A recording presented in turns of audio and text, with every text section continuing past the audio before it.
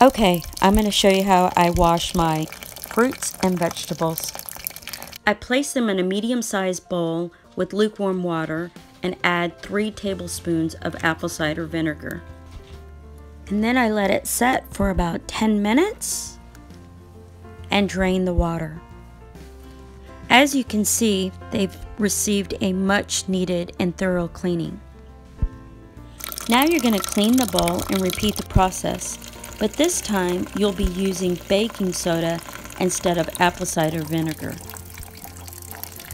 You'll sprinkle the baking soda over the fruits or vegetables and let it set for about 5 minutes.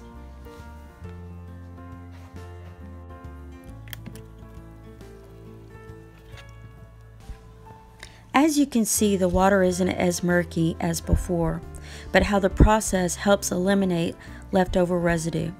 Now give them one more rinse and enjoy. Thanks for watching.